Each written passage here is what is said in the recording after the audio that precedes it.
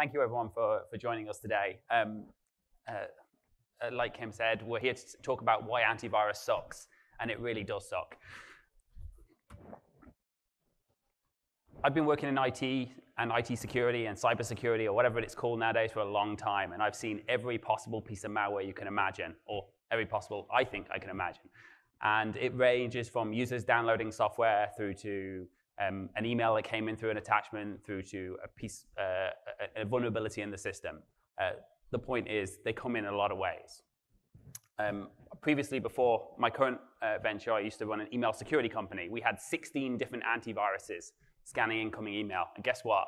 Viruses still got through sometimes.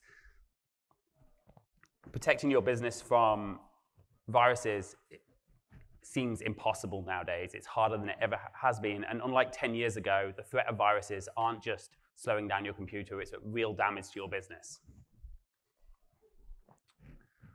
Back in 2003, I was working in corporate IT.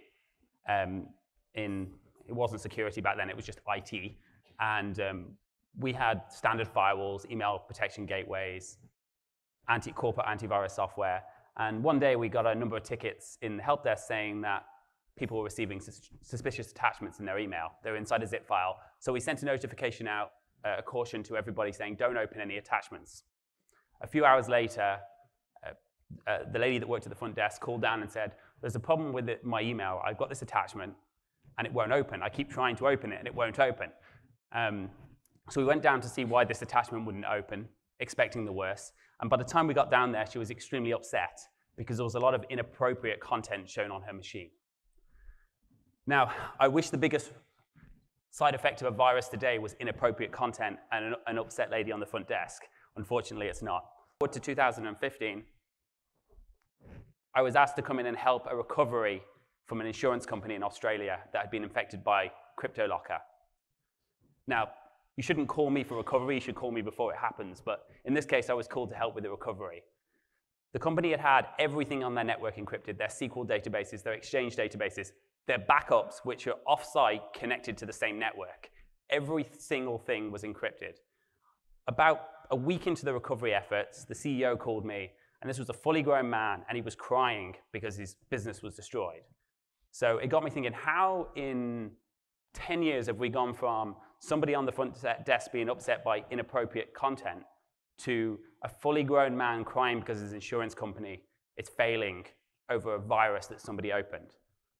Now, the story didn't end bad. He did lose a lot of data. We did manage to recover a lot of data, and he carried on with his business. They're still in business today, but it could have gone a lot worse.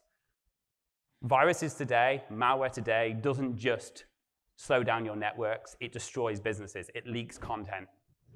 Fast forward to 2017, and now businesses are being completely shut down. Hospitals are turning away ambulances from doors because they've got a virus that some guy wrote in North Korea or the Ukraine or wherever it may be. Malware is not only encrypting data, it's stealing data and threatening to dump it on the web if you don't pay a ransom. And then when you do pay a ransom, they dump it anyway.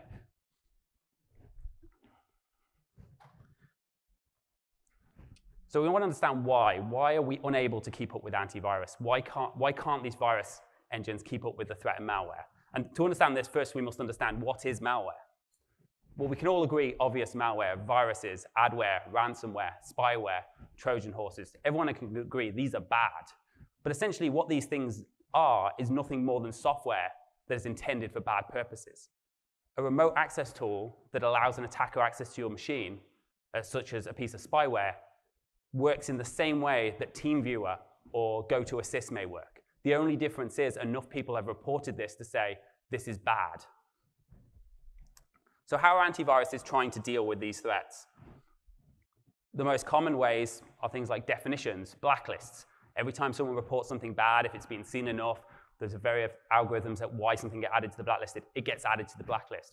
Heuristics, outbreak detection, behavior detection, all of these te new techniques, even new methods like AI, the problem is these fall short, and they fall short simply because it doesn't matter how smart your antivirus is, it can't tell the difference between a good piece of remote access software and a bad piece of remote access software. It's just saying it's remote access software. And they're not even trying to deal with the good pieces of remote access software.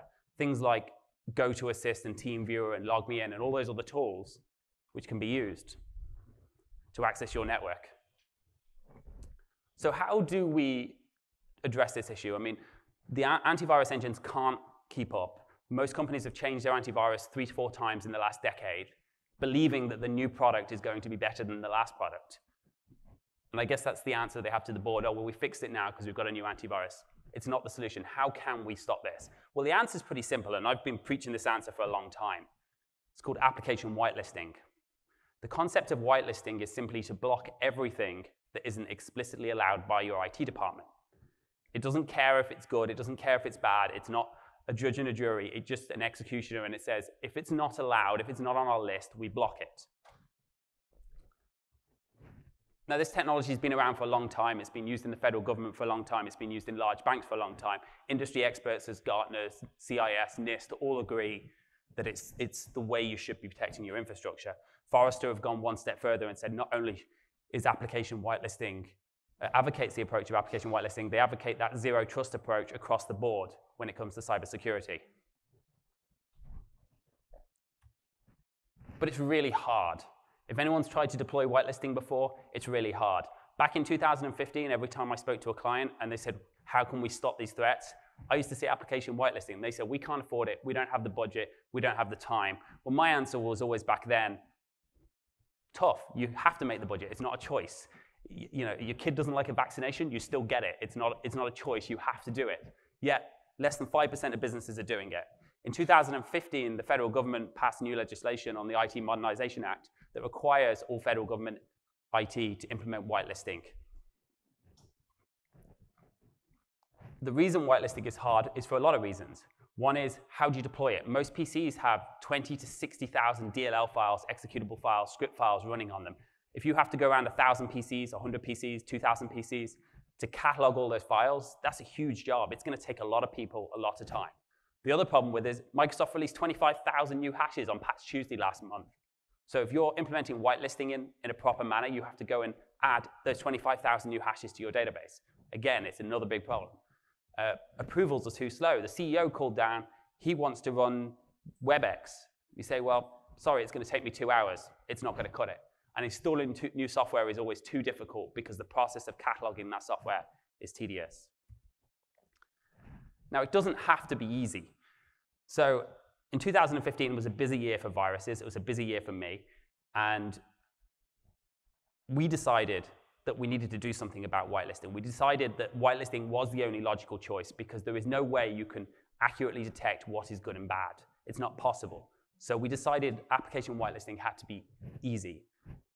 So we built a product that deals with all of the issues in whitelisting, a product that can be deployed in minutes automatically profiles everything on your machines, catalogs your applications, has a 24-hour SOC behind it to make sure that when Microsoft releases new updates, Office releases new updates, Google Chrome, Adobe, that those whitelists are updated so you can just say that's running. And it's really, really easy to use.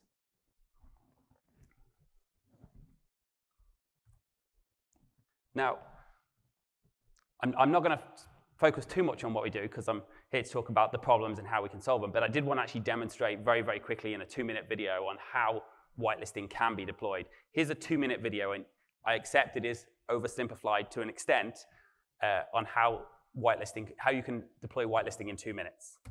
Sign up for a free trial at ThreatLocker.com. Once you have received your credentials, log in to the ThreatLocker portal, select a computer's group page, and select the download link next to a computer group. A 2 megabyte MSI will be downloaded. The MSI can be installed with a single click in less than 30 seconds, deployed using group policy or any kind of software deployment tool. Once the computers have been installed, they will automatically be displayed on the computer's page. The devices will immediately begin auditing all applications, libraries, and scripts that are executed in the ThreatLocker application audit. ThreatLocker will begin to profile applications that are running or found on your devices and automatically build policies by matching our built-in application definitions or creating custom application definitions on the fly. Review the applications in the list, select any applications you wish to block, and select the Deny button. Once you are happy with the application list, edit the default policy to deny any unauthorized software. Within 60 seconds, all unauthorized software, including malware, will be blocked. regardless to whether it was opened by a user, embedded in a document, or executed using an exploit. When an untrusted application is blocked, the user will be presented with a simple method of requesting permission. The administrator can approve or deny the request in a single click. Once approved, the user will be able to open the application within 60 seconds. When installing more complex applications, you can make use of ThreatLocker installation mode, which automatically tracks changes made during an installation and adds the necessary hashes and certificates to the application whitelist.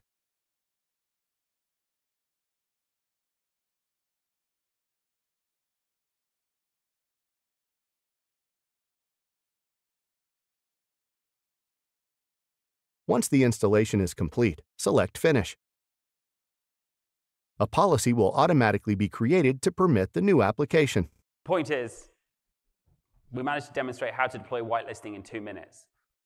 Whether you want to use simple whitelisting or difficult whitelisting, whitelisting absolutely should be a defense in your corporate IT strategy. If it's not, at some point, you will get hit by a piece of malware that will cause massive damage. We've demonstrated this on 15 different antiviruses by writing a small piece of malware that copies everything from your file server and dumps it to a remote host.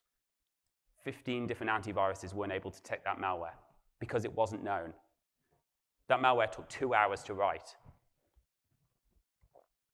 So when you're looking for an application whitelisting solution, there are some important things that you should look for. One is, does your application whitelisting solution run at the kernel? It's not good enough just to protect you from use. While users are the biggest threat, and they're most likely going to open something that's going to cause a problem, WannaCry executed from the kernel. It used an exploit and ran at the kernel level. So any, anything you're running should run at the kernel level and not at the user level. It give granular controls of what should run. It's not good enough to say this is allowed to run. You should limit what can run based on the individual user. It might be okay for a user to run PowerShell if they're an administrator, but the average user doesn't need to run PowerShell and doesn't need to run all of the admin components built into Windows. Does it whitelist by more than path or folder? Just saying it's in this folder, so it must be safe, or it's this file name, so it must be safe, is not good enough.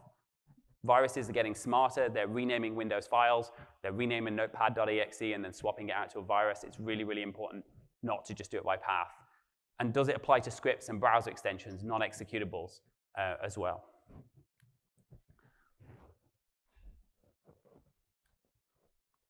Now, one of the questions I get asked, well, what about threats that live off the land? Fileless malware, sometimes it's referred to. Antiviruses are really struggling with this because just like application whitelisting, it's not actually a file that's opening, so we don't have anything to block. It's running something inside Windows like PowerShell or like an embedded tool, and it's actually running from the operating system. Can things like whitelisting help with this? Well, the answer is yes, but it's not complete. Uh, antivirus is basically impossible to detect it. The way you handle these threats isn't through necessarily just whitelisting or through blacklisting. Um, it's also through things like ring fencing.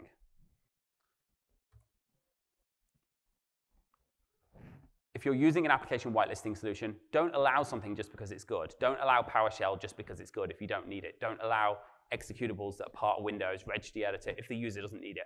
Only allow what is needed to perform the job function. That reduces your surface area of attack massively. And applications that you do allow, you should also allow based on the, the process that's starting it. So it's not okay to say, well, you can run PowerShell from anything. You say, well, how do you run PowerShell? How do you interact with it? If you run it from Explorer.exe, allow it to run from Explorer.exe. Don't allow Word to open PowerShell. Why does Word need to open PowerShell?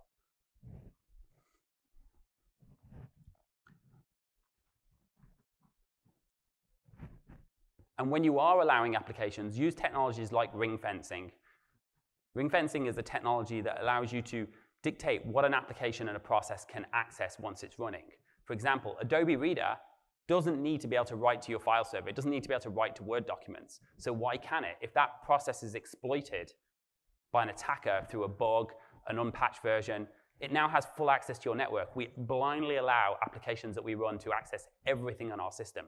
So don't allow applications to access everything. If it's Adobe Reader, only allow it to access PDF files or any other types of files it needs. If it's Office, give it the relevant access. The same applies to spinning up other programs. Don't allow them to spin up other programs.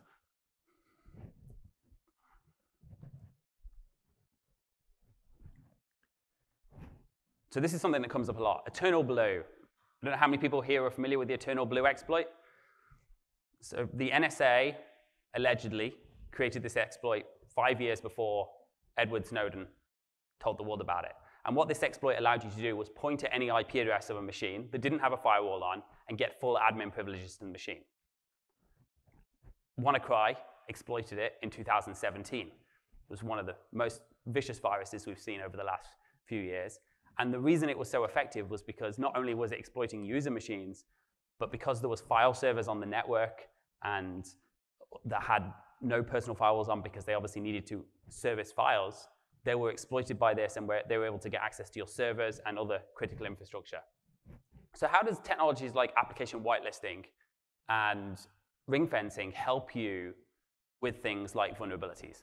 Well, first of all, patch your machines. It's absolutely vital that your machines are patched. And just because you have the best antivirus or the best whitelisting solution in the world or the best firewall in the world, patching should be a critical part of your defense. But in the case of Eternal Blue, where there was no patch for five years, there are things you can do to reduce your surface area of attack. For example, one use case of Eternal Blue was where you were able to use an exploit, connect, attach yourself to the print spooler process, and then you could spin up command prompt, PowerShell, or WannaCry. Well, if you're using a good whitelisting solution, you shouldn't be able to spin up the WannaCry.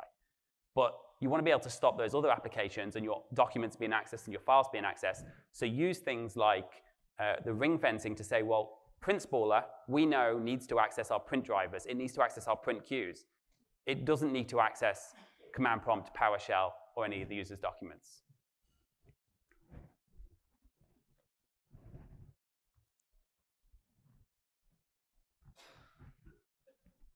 People focus, businesses focus a lot on granting user level access to permissions. So if you have, for example, QuickBooks running and you have a file share because it still uses that historic method of a database that people connect to directly, you've set up the share and you've allowed users who need access to QuickBooks to access that share. If a user wishes to connect to that share, copy that share onto a USB drive or send it out in an email, they can do that. They can just type in the path of the share and explore and allow it. And companies never think about the applications. Again, I can't stress enough that every application you install on your machine has unlimited access to everything you as a user does when you run it. So you should use tools like ring fencing, like storage control, to actually say, well, not only is my storage device locked down to this only this user, but only this application. So yes, the user can open this file, but only if they open QuickBooks, only if they do it through QuickBooks and it, or they can access this USB drive, but only through Veeam backup. We don't want malware or other users being able to access the uh, USB drive. Only the Veeam backup service can. Use storage control solutions, use ring fencing solutions to make sure those applications only have access to what they need. We give applications far too much trust.